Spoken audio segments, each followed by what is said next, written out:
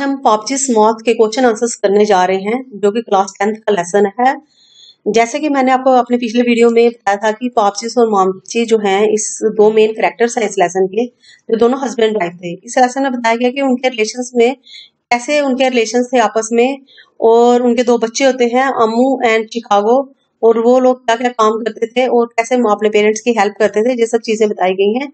चलिए इसका first question start करते हैं।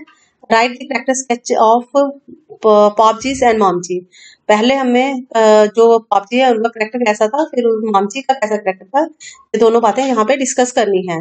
पहला है character sketch of Pappachi Pappachi is Mammachi's husband and is the father of Ammu and Chacko Pappachi थे, जो थे, वो मामची के हस्बैंड थे और किसके पिता थे? अम्मू एंड शिकागो के पिता थे। Served in the department of entomology as a empirical entomologist वो काम करते थे डिपार्टमेंट ऑफ़ एंटीमियोलॉजी और वहाँ के वो उस डिपार्टमेंट के डायरेक्टर थे। His biggest triumph in life becomes his biggest failure उसकी, उनकी जो लाइफ की सबसे बिगेस्ट जो फेलियर था, वो ये था when he discover a rare breed of moth जब उन्होंने एक डिस्कवर किया था, एक जाति का, जो कि मौत की प्रजाति की थी मौज एक पतंगा होता है बटरफ्लाई की तरह। बटरफ्लाई थोड़ी चमकीले कलर की होती है, जो थोड़ा डल से कलर का होता है, मगर उसी फैमिली से बिलोंग करता है। उन्होंने इस चीज़ को देखा और इसकी डिस्कवरी की but but he does not get credit और even naming rights for his discovery मगर क्या होता है जो जो डिस्कवरी होती है जो क्रेडिट होता है वो उनके नाम पे नहीं जाता। क्योंकि इनके डिपार्टमेंट के जो भी बड़े लोग थे उन्होंने बोला नहीं ये जो जो पतंगा है ये जो मौत है वो ऑलरेडी डिस्कवर हो चुका है। Later when he comes to know that his discovery has been recognised but named after the acting director of the department he is shocked but क्या होता है बाद में जब वो रिटायर हो जाते हैं तो कुछ महीनों के बाद जो वो उन्होंने डिस्कवरी की थी तो उन, उनके डिपार्टमेंट को उथल होती तो वो जो उनके जो भी एक्टिंग डायरेक्टर वो थे एक्टिंग डायरेक्टर थे तो उन्होंने देखा कि ये जो डिस्कवरी थी, ये नहीं हुई थी। तो जो उनकी जो डिस्कवरी जो उन्होंने डिस्कवरी की थी, उनके जो अगले वाले डायरेक्टर थे उस डिपार्टमेंट के, उनके नाम पे चली गई। तो ये उनका सबसे बड़ा फेलियर था, वो वो जो उनके बैक मूव्स थे, जो उनका स्वभाव रहता था उसी वजह से रहता था। This event is held responsible for his black mood and temper यही जो वजह थी कि उनका जो मूड था, हमेशा खराब रहता था, यही वजह थी कि जो डिस्कवरी उनके नाम पे नहीं हुई थी। और सबसे बड़ी बात थी, जो डिस्कवरी जिस एक्टिंग डायरेक्टर के नाम पे हुई थी, उनके साथ उनका रिलेशन अच्छा नहीं था, वो उसके साथ हमेशा नफरत की नुगाहों से दिखते थे। Bobby is a harsh, jealous man who beats momchis regularly. इनका जो स्वभाव था वो भी कैसा था? हार्श था जेलस रहते थे हमेशा और हमेशा अपनी जो वाइफ मामची थी उनको हमेशा वो रेगुलरली पीटते थे. He does not like Mammachi's work of making pickle और इवन की जो मामची काम करती थी पिकल बनाने का अचार बनाने का वो भी उनको अच्छा नहीं लगता he thinks that his menial job to be done by his wife is against dignity of the high ranking ex government official उनको लगता है वो छोटा सा जो काम करती है मैं high ranking ex government official हूँ। ये मेरी आ, शान के विरुद्ध है। Pachi is a rude and snobbish person. He wears beautiful dresses in order to hide his age and infirmity. वो जो उनका स्वभाव था वो बड़ा अजीबोगरीब था। वो हमेशा अच्छी अच्छी जो पैंट कोट हमेशा थ्री पीस सूट में रहते थे। एक्चुअली वो अपनी जो एज थी वो भी छुपाना चाहते थे। उन्होंने एक नई कार खरीदी और ऐसा करते फैमिली के किसी भी इंसान को अलो नहीं था कि उस गाड़ी में बैठ सके। रॉयल पर्सन वो हमेशा ऐसा प्रेटेंट दिखावा करते प्रेटेंट तो होकर दिखावा करते वो एक रॉयल इंसान है। He dies before the action of the novel really kicks off so he referred mostly as a memory. He dies before the action of the novel really kicks off. वो लास्ट में जब मरे, वो three piece suit में ही मरे। जब उनकी dead body को उठाया गया तो वो थ्री पीस सूट में ही थे और उनकी जो गोल्डन वॉच थी, हमेशा उसके साथ ही ऐसे दिखाने के लिए वो एक बड़े एक्स गवर्नमेंट ऑफिशियल हैं, वो एक रॉयल वर्जन है। इसलिए उन्होंने तब भी थ्री पीस सूट डाला हुआ था। Sketch of Mammachi Mammachi is the wife of the renowned entomologist Shri ban आबी She is an elderly lady but 17 years younger than his husband Popji. भी एक पापा जी जो थे जो कि रिनोड मतलब रिनोड था जाने पहचाने एंटी मेलोजिस्ट थे उनकी वाइफ Uh, उनकी जो शादी हुई थी she is an elderly lady but seventeen years वो भी एक थोड़ी देर किस्म की लेडी औरत थी। उनकी जो शादी थी सत्रह साल बड़े जो उनके हस्बैंड थे उनके साथ हुई थी। She is naturally inculcated with many talents उनके अंदर बहुत सारे टैलेंट्स कूट कूट के भरे हुए थे। She is very good at making pickles and jams we sell very quickly at the particular fair उनके जो, उनके अंदर जो भी वो टैलेंट थे, जैसे कि पिकल्स बनाने का जैम्स बनाने का, उन्होंने जब बनाया तो जो उनके वहाँ पे फेयर हुआ था, मेला लगा था, उसमें वो एकदम से बिक गया। She gets more orders and this becomes employed particularly after her husband से रिटायरमेंट उनको वो और और ऑर्डर आने लगे, वो पिकल्स बनाने के। तो वो इसी पे काम करने लगी जब उनके हस्बैंड रिटायर हो गए। She is very good at playing the violin and takes some lessons of playing it during her stay in बेनिया जब वो मतलब उनके हस्बैंड एक बार ट्रेनिंग पे गए थे वेनिया में तो वो उन्होंने वहाँ पे वायलिन बजाना सीखा था वहाँ पे तो वो बड़ी अच्छी वायलिन बजा लेती थी। She is hard working lady and full of patience बड़ी हार्ड वर्किंग थी, हमेशा हमेशा मेहनती लेडी थी और हमेशा पेशेंस से भरी हुई थी। She tolerates beating of her husband without a week of complaint वो टॉयलेट करती रहती थी, सहती रहती थी। जो भी उसके हस्बैंड उसको मारते थे मतलब कोई भी कंप्लेंट नहीं करती थी। These beatings are only stop when her husband her son Chicago comes back from Oxford and stops his father from beatings Mamsie ये जो मार थी, जो उनकी बीटिंग्स जो रोज उनके हस्बैंड उनको मारते थे कब बंद हुआ जब उनके, उनका बेटा चिकागो जो ऑक्सफोर्ड यूनिवर्सिटी में पढ़ता था, घर वापिस आया और उसने देखा कि उसके पिताजी माँ को मार रहे हैं, तब उसने अपने पिताजी को रोका कि इनको नहीं मारना। Is suffering from chronical, conical corneas and wears contact lenses to visualize things. उनकी आँखों में थोड़ी सी प्रॉब्लम थी और वो स्पेक्स डालती थी चीज़ों को देखने के लिए। She does not get the support of her husband throughout her life. उसको अपनी लाइफ में पूरी ज़िंदगी में अपने हस्बैंड से कोई भी सपोर्ट नहीं मिला। But still she keeps on supervising and managing everything alone but उसके बाद भी वो हमेशा अपने काम को अकेले ही सुपरवाइज करती रही and does not feel or let anyone else feel bad about her husband and never let him down और उसने ना तो कभी खुद फील किया महसूस किया ना ही किसी और को फील होने दिया कि उनके हस्बैंड उनके साथ ऐसा करते हैं and never let him down और कभी भी उनको किसी के सामने नीचा नहीं दिखाया। क्वेश्चन नंबर सेकंड है इसका। I never want this to be happen again he told his father ever who says it and why मैं कभी I never want this to be happen मैं चाहता हूँ कि आगे से ऐसा कभी भी ना हो। किसने बोला अपने पिताजी को? Who says it and why किसने बोला और क्यों बोला? Papsie son Chicago says is word to him Papsie का जो बेटा था चिकागो जब वो ऑक्सफोर्ड यूनिवर्सिटी से वापस आया था, उसने अपने पापजी को जे वाले वर्ड्स बोले थे he comes to home for summer vacation from Oxford and finds his father beating mother in the room जब वो समर वेकेशन के लिए, गर्मी की छुट्टियों के लिए ऑक्सफोर्ड यूनिवर्सिटी से घर आया तो उसने देखा कि उसकी जो पिताजी हैं, उसकी माँ को मार रहे हैं। उन्होंने उसका हाथ पकड़ लिया पीछे की तरफ़, पीठ की तरफ़ घुमा दिया and warns him never to be do it again और अपने पिताजी को वॉर्न किया, आगे से कभी भी ऐसा नहीं होना चाहिए। Question number three Amma told the twins that Mamsie was crying more because to him then because she loved him Amma बोलती हैं told the twins that Mamsie was crying more Amma बोलती हैं कि ये जो अपने बच्चों से बोलती है कि जो मामसी हैं, बहुत रो रही हैं। क्यों रो रही हैं? कि वो उसके पिताजी से प्यार करती थी? In the light of the statement of Mamsie's daughter comment on the relationships between Mamsie and Papsie ये जो स्टेटमेंट मामसी की बच्ची ने दी, बेटी ने दी, उसके ऊपर कमेंट करना हमें, उनका रिलेशनशिप बताना है। मामसी और पापसी का रिलेशनशिप कैसा था? कि उसकी बेटी ने ऐसा बोला कि इसलिए नहीं रो रही कि उनसे प्यार करती हैं, बल्कि जो उसकी एक्चुअल हो चुकी है, इसलिए ये इतना रो रही हैं। Mamji and Papji do not have good relations, particularly after Papji is retired. Mamji और Papji के relations अच्छे नहीं थे खासकर जब वो Papji रिटायर हो चुके हैं आज होते हैं और घर पे आ जाते हैं Papji burns on his wife's work of making pickles in spite of fact that her husband flourishes. वो जो बिज़नेस करती थी उसको वो खत्म करने की कोशिश करे जेलस करते हमेशा कि ये ऐसा काम क्यों करती है Stanley thinks that it is against the dignity of the, और उनको लगता था कि ये जो वो high ranking ex government official है, ये उनकी इज़्ज़त के खिलाफ है। Agarwal he brutally repeats her every night with the flower vase even वो क्या करते थे? हमेशा रात को अपनी जो वाइफ थी, उसको एक फ्लावर बेस के साथ मारते थे। But Mamsie's becomes used to his जो बट जो मामची थी, वो जूस टू हो चुकी थी उसकी बीटिंग से। She never complains about his ill treatment with her वो कभी भी कंप्लेन नहीं करती थी जो भी वो अच्छा व्यवहार उसके साथ नहीं करते थे।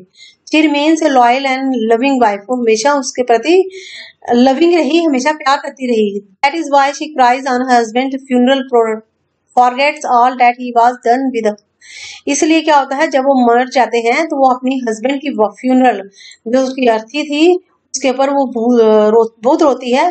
मत सब कुछ भूल कर रोती है कि जो वो भी उसके साथ वो जैसा भी व्यवहार करते थे। क्वेश्चन नंबर फोर है इसका how does Mamsie stand out as an independent resilient women in text Mamsie कैसे एक इंडिपेंडेंट वुमेन की तरह पेश आई है इस टेक्स्ट में? Mamsie proves to be a praise worthy character of the story मतलब कि प्रेज वर्थी है, उनकी हम प्रेज कर सकते हैं इस करेक्टर की, अपनी इस स्टोरी में। She prepare delicious pickles and jams and become successful in his work वो क्या, कौन सा काम करती थी? पिकल्स का और जैम्स का जो काफ़ी टेस्टी होते थे, और वो इस काम में बहुत सक्सेसफुल थी। Soon she receives more orders and thus becomes employed and independent. और बाद में क्या हुआ, जब उसके जेम्स और पिकल्स बहुत बिकने लगे तो उनको और ऑर्डर्स आने लगे और वो एक एम्प्लॉयड लेडी होगी इंडिपेंडेंट होगी. She is also resilient lady because she adapt herself to the irritating and jealous nature of her husband. तो वो अपने आप को इस लेसन में ऐसा पेश करती हैं कि जैसे उसके हस्बैंड उनको मारते थे जेलस करते इरिटेट करते थे फिर भी उसके बावजूद भी वो कोई कंप्लेन नहीं करती थी। She tolerates the tyranny of her husband like a silent tolerant and never complains वो हमेशा चुपचाप कोई भी जो भी बात होती थी उसके हस्बैंड के मारने की या जैसा बिहेव उसके साथ करते थे, वो बिना कंप्लेन किए उसको टॉलरेट करती थी। क्वेश्चन नंबर फाइव है इसका। Pick out the elements of irony in the lesson जो भी इस लेसन में आयरनी की जो भी घटनाएँ हैं, वो हमने यहाँ पे बतानी है। आयरनी व्यंग जिस पे किया गया है, वो वाली घटनाएँ हमने यहाँ पे बतानी है। Irony means the strange and the amusing aspect of the situation as opposite or very different from what you expect. Irony वो ऐसी situations हैं, ऐसी बातें हैं, जब जो आपने सोचा नहीं होता, उसके उल्ट हो जाता है, ऐसी बातों को हमने यहाँ पे बताना है। जो भी जो भी एलिमेंट्स हैं इस लेसन में, वो इस तरह से है यहाँ पे। पहला सबसे आपने discover real breed of moth Papsie ने एक ब्रीड एक जाति को डिस्कवर किया था मॉथ की but he does not get credit और even naming rights for his discovery but क्या हुआ? उससे उल्ट हो गया। उन्होंने सोचा था कि अब मैं क्या हो जाऊँगा? बड़ा फेम हो जाएगा मेरा। मैं बड़ा मशहूर हो जाऊँगा। लोग मुझे जानने लगेंगे बट सब कुछ उल्टा हो गया। उनको उस डिस्कवरी का कोई भी क्रेडिट नहीं मिला। इवन वो जिसे जेलस करते थे, उसको वो सब उसको उस चीज़ का क्रेडिट मिल गया, जो भी उन्होंने सोचा नहीं था। He has not hold this discovery will be ignored उनको जे उम्मीद ही नहीं थी कि उन्होंने जो डिस्कवरी किया, उसको इग्नोर किया जाएगा। तो ये व्यंगात्मक एक एलिमेंट है यहाँ पे। इसका सेकंड पॉइंट है when Mamsie starts pickle making her business flourish tremendously जब उस, उसकी वाइफ ने पिकल मेकिंग का काम किया तो उसका बिज़नेस बड़ी अच्छी तरह से चलने लगा। She gets busy all around the year but her husband unexpectedly dislikes her job अब उनका बिज़नेस इतना अच्छा चल रहा था तो उसके हस्बैंड को उसको लाइक करना चाहिए था। उसकी से हेल्प करनी चाहिए थी मगर उसका उल्टा हो गया। उनको लगा ना ये काम बड़ा गलत है हमें ऐसा काम नहीं करना चाहिए। इसका थर्ड पॉइंट है Papsie beats her wife every night but she never complains और discloses it to any but it's not it ironical Papsie क्या करते हैं, उसको हमेशा उसकी वाइफ को क्या करते हैं, मारते रहते हैं हर रात। बट वो किसी से भी कंप्लेन नहीं करती, इसको किसी से डिस्क्लोज इसको बताती ही नहीं है कि मेरे हस्बैंड मेरे साथ ऐसा करते हैं। बट ऐसा नहीं होना चाहिए था। तो इसे भी एक आर्निकल एलिमेंट है इसमें Papsie's funeral Mamsie's prize hot inspired that her husband used to beat her when he was alive Papsie की जो फ्यूनरल थी, अर्थी थी, उसमें मॉमजी बहुत ज़ोर ज़ोर से रोती है, चिल्लाती है। बट वो चीज़ें सब भूल जाती है जो जब वो ज़िंदा थे अलाइव मैंने ज़िंदा थे, उसके साथ जो भी वो कुछ करते थे, वो सब वो भूल जाती है। अब इसका क्वेश्चन नंबर सिक्स है identify instances of humour in the story इसमें हंसने वाली चीज़ें क्या है? आपको कौन कौन से एलिमेंट्स हंसने वाले लगे? इस स्टोरी में वो बताने हैं। Humour is that figure of speech that amuses us and makes us laugh जो हमें हंसाते हैं और हमें लाफ होने पे मजबूर कर देते हैं। Some of the humorous elements to find in the story are given as under कुछ जो एलिमेंट्स हैं जहाँ पे ह्यूमरस वो हम जहाँ पे डिस्कस करेंगे। पहला है Popsy keeps a photograph of youth on the table to remember the days when he was young. This is really amusing Papsie क्या करते थे? अपने एक फोटोग्राफ था वो जवान थे हमेशा अपने टेबल पे लगा के रखते थे जिसमें वो काफ़ी सूट बूट डाल के सजे हुए थे। तो ये भी बड़ा हंसने वाला एक सीन है। Pabji is daily moving around the compound, watching the of of the red chilies, fleshy powered turmeric, and Momji is doing her work makes us laugh badly. Papsie अपने जो वाइफ थी उसका कोई कोई भी हेल्प नहीं करते थे उसके काम में फिर भी क्या करते थे सारा दिन जो कंपाउंड में उसने सामान सुखाने के लिए रखा होता था जो भी रेड चिलीज का पाउडर था या टर्मिक का या जो भी पापड़ वगैरह वो बनाती थी पिकल्स बनाती थी उसको धूप में सुखाते थे वो क्या करते थे? उसको सारा दिन उसके आसपास घूमते रहते थे इवन उसकी हेल्प नहीं करते थे फिर घूमते रहते ये भी एक लाफिंग वाला सीन है जहाँ पे। Pabji never lost mom cheese and anyone in the family to use his car or even to sit in it. अब जब पापजी ने एक नई गाड़ी खरीदी तो उन्होंने किसी को भी लो नहीं किया कि वो उसमें बैठे, या उसको हाथ लगाए अगला इसका पॉइंट है Papsie always keeps to create the impression that Mamsie's neglects him और हमेशा पापजी क्या दिखाते थे? वो बरामदा में बैठ के अपनी जो उसकी शर्ट थी, उस पर बटन सिलने का दिखावा करते थे वहाँ पे। इवन कि वो बटन नहीं टूटे होते थे, फिर भी वो दिखावा करते थे, लोग देखे, और ये इंप्रेशन लोगों में जाए कि जो मामची है, उनको निग्लेक्ट करती है, उनका कोई भी काम नहीं करती। इसी के साथ क्वेश्चन नंबर सेवन है आगे write a short paragraph to show that lesson is a reflection of the male chauvinism हमने एक पैराग्राफ यहाँ पे लिखना है, जिसमें हमने रिफ्लेक्शन हमने तस्वीर दिखानी है मेल शेफिनिज्म शेफिनिज्म होता है, जो भी डिस्क्रिमिनेशन करते हैं मेल्स फीमेल्स के साथ, वो हमने यहाँ पे दिखानी है कि कैसे यहाँ पे मेल जो है, वो जहाँ पे फीमेल के साथ डिस्क्रिमिनेशन कर रहा है कि सेक्स से gender discrimination is a major social evil in our society gender discrimination जो है हमारे यहाँ जो भेदभाव है जेंडर को लेके सेक्स को लेके, वो बड़ी आम बात है हमारी सोसाइटी में। Man has always been dominate over women from ages कई सदियों से चेचे चला आ रहा है, जुगों से चला आ रहा है, जो मेल है अपने आप को स्पीयर समझते हैं लेडीज़ से। He has never treated women equal to his status वो औरतों को अपने समान नहीं समझते। Always been a mere slave to him वो उनको, जैसे उनका कोई नौकर होता है, वैसे उनको ट्रीट करते हैं। She for him the other sex she abuses her in every respect वो उनको हमेशा कोसते रहते हैं। हर एक फ़ील्ड में। She is exploited by man physically sexually morally economically and also politically वो उनको किसी भी तरीके, चाहे फिजिकली उनको कोई टॉर्चर करना हो सेक्चुअली करना हो, किसी भी तरह इकोनॉमिकली करना हो, पैसों के तरीके से, वो उनको हमेशा टॉर्चर ही करते हैं। She has never been equal given equal rights वो वुमेन्स को इक्वल राइट्स भी नहीं है। Even her fundamental rights have from her fundamental rights होते हैं, जो हमें अपने संविधान जो हमें देता है राइट्स वो वाले, उनको भी वो क्या कहता है, चुरा लेते हैं मतलब उनको भी वो स्नैच कर लेते हैं आदमी उनसे। She is use by man as a playing to satisfy her lust वो जो मैन है, उसके हाथ का खिलौना बन चुकी है। She is treated as a weaker section weaker sex उसको वो एक कमज़ोर इंसान के तौर पर ट्रीट करते हैं। The lesson is perfect example of the male chauvinism. ये जो लेसन है, ये भी एक परफेक्ट एग्ज़ाम्पल है मेल शेफिनिज्म की। General discrimination is the main theme of the lesson जो जेंडर डिस्क्रिमिनेशन है, भेदभाव है, वो एक मेन थीम है इस लेसन का। Mamsie is an oppressed women who is daily beaten by her husband Mamsie यहाँ पे ओप्रेस्ड वुमेन है, जो कि हमेशा अपने हस्बैंड के हाथों पीटी जाती थी रोज। She is fed up with regular beatings of her cruel husband वो अब ऊब चुकी थी, जो भी उसकी रोज की बीटिंग होती थी, जो क्रूअल हस्बैंड थे, उसके जो करते थे। Papsie gives no respect to her Papsie उसकी कोई भी रिस्पेक्ट नहीं करते। He never speaks a single word of love to her even की वो कोई ऐसा प्यार का लफ्ज भी नहीं बोलते थे, जिससे कि थोड़ा सा उसको बढ़ावा मिले। तो इसी के साथ हमारे ये जो क्वेश्चन है, इस लेसन के ये खत्म हो चुके हैं। अगर आपको कुछ और लेसन के वीडियो बनाए हैं, जिनको आप डिस्क्रिप्शन में जाकर क्लिक कर सकते हैं। अगर आपको किसी और लेसन में प्रॉब्लम आ रही है तो प्लीज़ कमेंट करें। मैं जल्द से जल्दी रिप्लाई करने की कोशिश करूँगी। Goodbye and have a nice day